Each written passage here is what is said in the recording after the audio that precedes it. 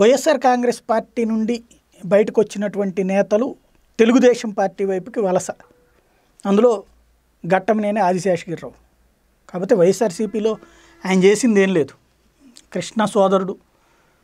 ఇంకొకటి కృష్ణ బా సొంత బావే తెలుగుదేశం పార్టీలో ఉన్నారు. ప్రస్తుతం గుంటూరు ఎంపీ గల్లాజేదు.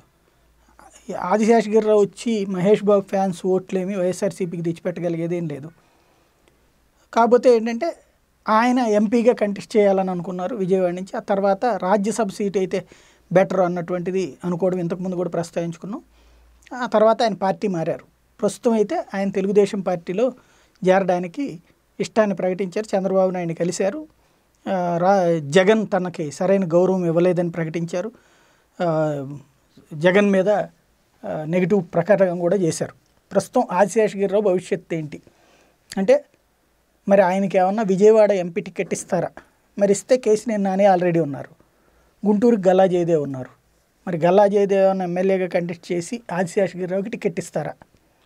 లేదంటే రాజ్యసభ సీట్ని భవిష్యత్తులో కానీ లేదా ఎమ్మెల్సీ సీట్ కానీ ఆయనకి ఇస్తారా? ఇవ్వడం ద్వారా కృష్ణా ఫ్యాన్స్ని కంటిన్యూ చేయడం. అంటే మహేష్ బాబు ఫ్యాన్స్ ఆల్రెడీ ప్రస్తుతం ఫ్యాన్స్ అందరూ అంటే ఇక్కడ ఇందులో ఒక విచిత్రం ఉంటుంది.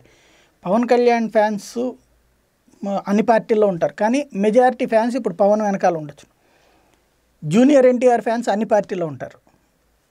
తెలుగుదేశంకి మాత్రమే సపోర్ట్ చేయరు. బట్ తెలుగుదేశంలో ఉన్నటువంటి వాళ్ళు బాలకృష్ణ ఫ్యాన్స్ మాత్రం వేరే పార్టీలకు సపోర్ట్ చేయరు. ఇక్కడ ఫ్యాన్స్లు మిగతా వాటిలో ఈ ప్రధాన పార్టీల్లో ఉండేటువంటి ఫ్యాన్స్ వేరు మహేష్ బాబు లాంటి వాళ్ళ ఫ్యాన్స్ వేరు. మహేష్ బాబు నాగార్జున ఫ్యాన్స్ వీళ్ళు ఏంటంటే అభిమానం సినిమాల్లో ఉంటుంది కానీ ఓట్ల పరంగా చూసేటప్పటికి ఎవరి రాజకీయం వాళ్ళే చేస్తారు. మహేష్ బాబు ఫ్యాన్స్ అందరూ వచ్చేసి తెలుగుదేశానికి ఓటేయలేదు.